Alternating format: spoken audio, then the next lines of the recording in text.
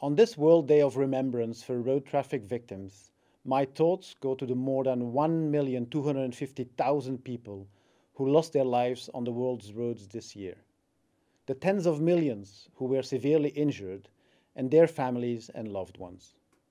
Most of them were young, full of life and aspirations.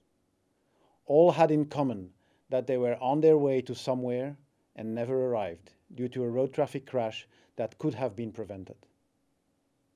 Roads Have Stories is a theme of this year's World Day of Remembrance, and the accounts they tell are of lives changed forever. We should remember these tragedies, but then turn them into action.